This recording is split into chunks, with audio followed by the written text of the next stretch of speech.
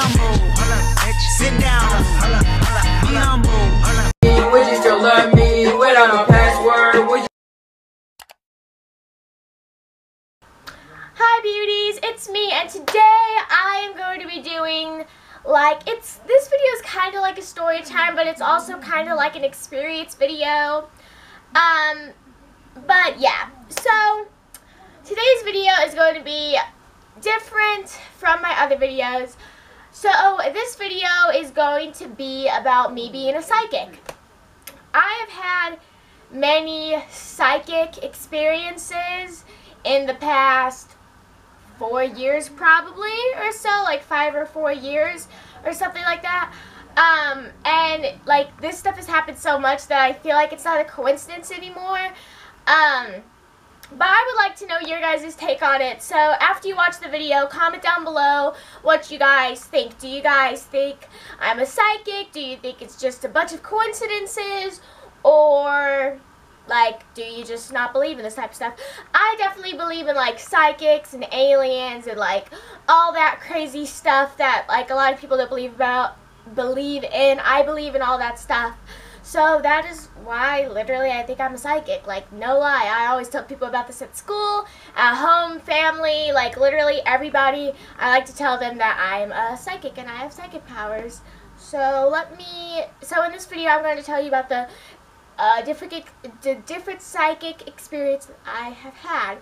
So basically all these stories I've predicted I've predicted stuff and they've happened in like a month span. Okay, so this thing started when I was eight. So yeah, four years.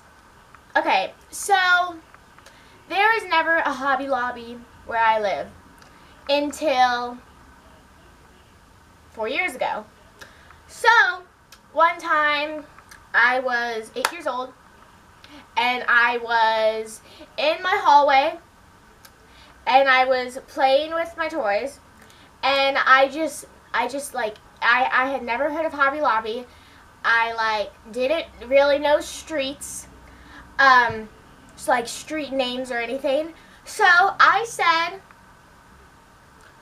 something that was along the lines of there's going to be a Hobby Lobby and it's going to be on this street.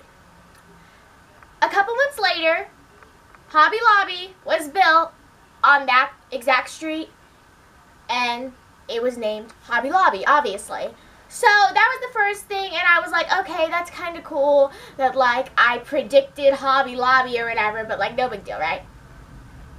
Then, now, these stories are just going to be all over the place because they've happened over years, so I don't really, remember when they happened, but a lot of these happened last year in fifth grade.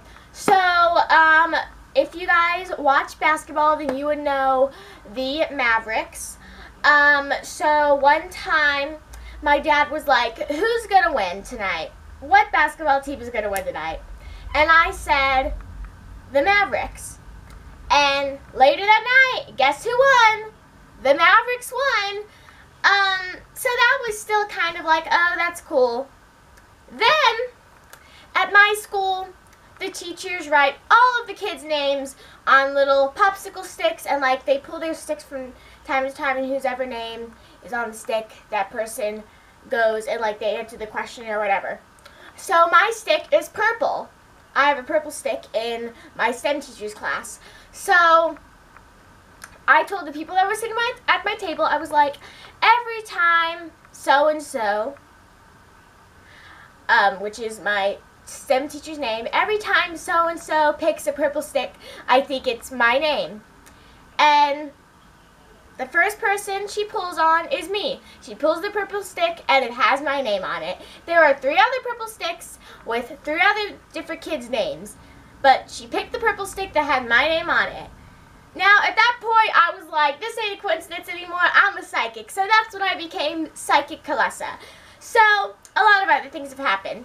So, one time I was talking about this person who walks past our house a lot and I was talking about him, like, blah, blah, blah, blah.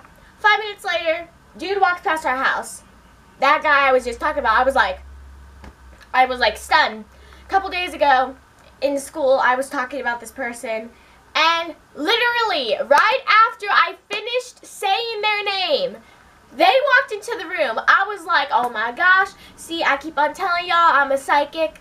Like, I keep on telling you. And like, there's just been a lot of other different things that have happened, but I um, can't remember all of them. But there is a lot of stuff that has happened that makes me think that I am a psychic. Comment down below if any of you have had any of these type of experiences. Um, I just think it's weird, and I actually truly believe that I'm a psychic. Um, there's a lot of other instances where like I said something and like it came true or I said someone's name and they walked into the room or I said a basketball team was to win and they won or like just a lot of the same types of stories but just in different instances if you know what I mean. But yeah, those are my little psychic stories. Um, I think I'm a psychic. Comment down below if you think I'm a psychic or not. My dad thinks I'm a psychic. So, yes, I think I am a psychic. So, I'm a psychic makeup artist who also goes to school and makes YouTube videos. Alright beauties, so I hope you enjoyed this video. If you did, like I always say, please like, comment, share with your friends, follow me on all my social medias. Go and check out my last main video. It'll be in the description box down below. It was a Make It Sting cover. And also, if you guys have not clicked the subscribe button down below, make sure you click that. Once you click that, a bell pop up. Make sure you click that bell to get notification from my channel every time I upload a video. I upload as frequently as I can. I will see all of you beautiful psychics, psychics in my next video. Bye, smooches. Mwah.